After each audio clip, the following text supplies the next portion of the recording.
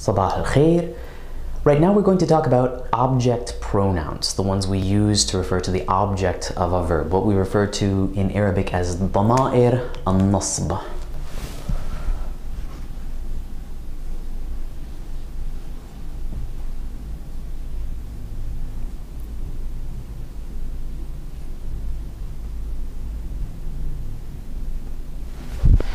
Now in Arabic, we express object pronouns by using suffixes, which attach directly to the verb. Here we have a chart of all of the most commonly used suffixes, and if you've studied the possessive pronouns in Arabic, you'll see that they're virtually identical to the possessive pronouns, right down to the minor variations between an Arabi al-Fusha, MSA, and uh, Egyptian and Levantine dialects. So, for example, here we have a sentence in Arabic, we read the book or we are reading the book. Naqra al-kitab.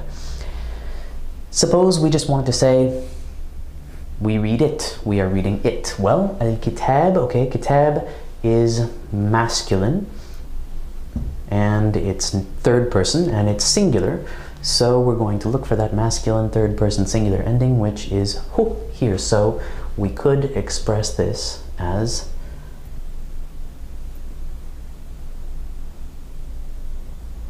نقرأه Similarly, here we have another sentence أدرس اللغة العربية I study Arabic or I study the Arabic language.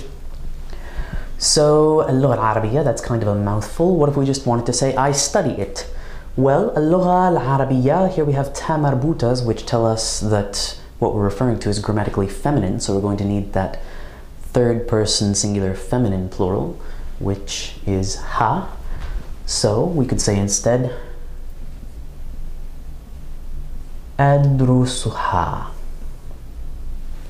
I study it.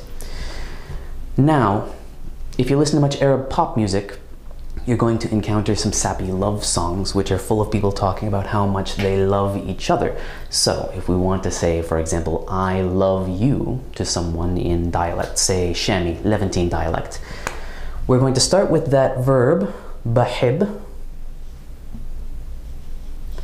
I love, but I can't say bahib anta, right? Or bahib enti. I have to use one of these object pronouns. So if I want to say to a woman, for example, I love you, I'm going to take that feminine pronoun and say bahib bik. Or for a man, if I'm saying I love you to a man, I would say bahib bak, right?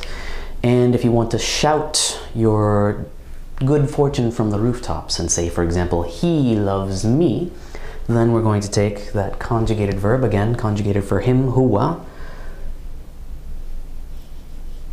bihib. And once again, I can't say bihib ana. I need to find that object pronoun, which is me. So I would say bihib ni. You can even play the flower game, right? He loves me, he loves me not. Bihibni, ma bihibni. He doesn't love me, right? So that is object pronouns, dama'ir al-nasb in Arabic.